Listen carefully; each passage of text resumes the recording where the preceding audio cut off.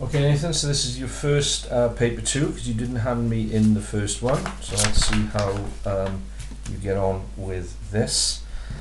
That's good. I'm going to dock you a mark there because uh, the calculator hasn't added that zero, but because you know the context is money, you should be adding a zero there. £8.53 is correct.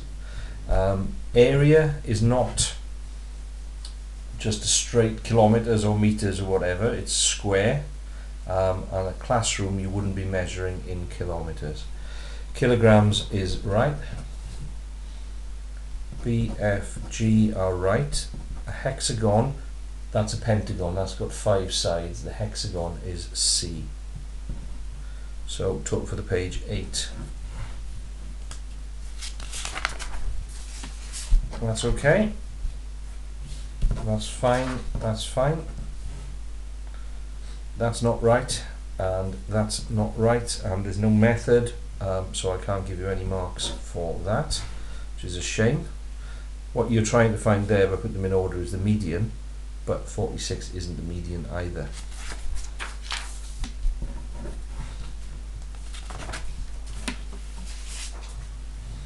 Um, 3675, good. 29, 5. Right, you need to do a bit more than plus 3. Um, you need to be saying to previous number. Here you need to be saying half previous number.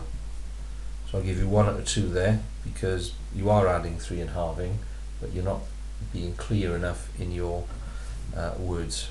So 8 for the page. 4 is correct, minus 4 isn't. Again, I'm not seeing any method. Okay, this is going down 2, 4, 6, 8, so that should be then 10.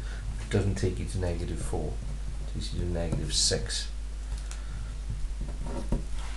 There's more than that one question there that you were capable of answering, so that's disappointing. Uh, no method, not right. No method, not right. No attempt.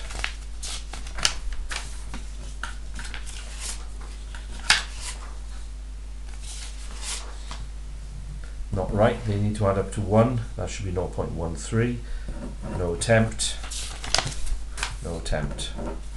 So, um, hopeless really, not very impressed at all Nathan. You're not giving yourself enough time to do you um, the credit that you should and you're just wasting my time as far as um, bothering to mark it. 8, 14, 22, 23, 23 is a grade G. Um, it is 7 marks off an F and it is a very long way off a grade C. Not good enough, you've got a long way to go.